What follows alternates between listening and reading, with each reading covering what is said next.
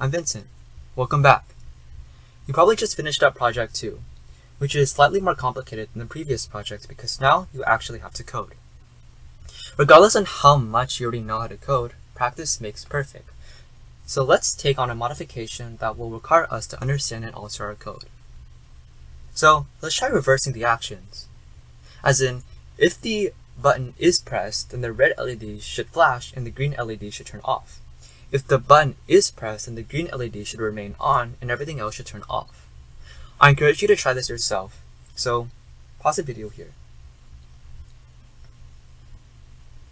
Now, in this mod, I won't explain in detail the actual setup, because you likely understand it already after reading or watching Project 2. So let's take a look at our code instead. As you can see, the switch state is set to low or off. The switch state basically accounts for the status of the push button. If it is pressed, the switch state should become high or another value. By default, it is set to low. As you can see, the push button is connected to pin 2, which is also labeled as input, which basically means something from the outside decides how much voltage the pin has. As you can see, the push button is connected to the yellow wire, and if it's pressed, it completes the circuit.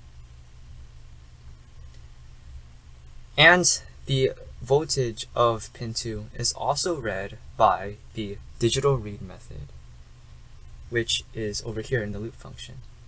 Now let's look, take a look at the if statement.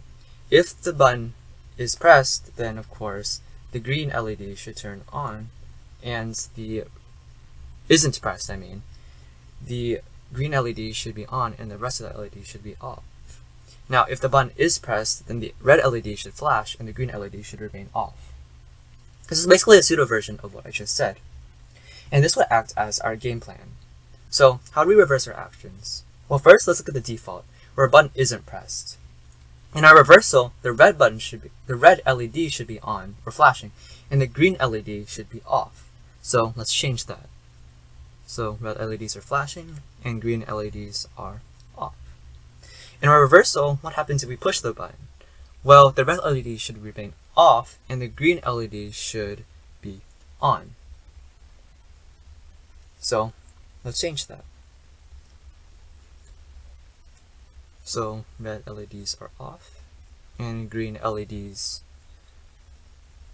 are on. And we're now basically done. It was really that easy. Now, reversing our code, our actual code now, is pretty easy as well. Because if we look at look back at our game plan, we realize that we just switch the default and holding the button around. In our code, it's really not that different. We previously already coded the flashing red lights in Project 2. So we really just need to move this entire chunk of code in the else in the else statement to the front. So let's move it up. Because that code basically means that the red LEDs are flashing and the green LEDs are off. So we just need to move it up there, like our pseudocode said. And just like our pseudocode, if our button, I mean, if our button is pressed, then the green LED should be on and the red LED should be off. So let's move that as well. And as you can see now, we basically just versed our code. We're just moved, just switched them, the if and the else statements around. And that's basically what the reversal basically did. So now, if we test it, you can see that if the button isn't pressed, then the red LEDs are flashing.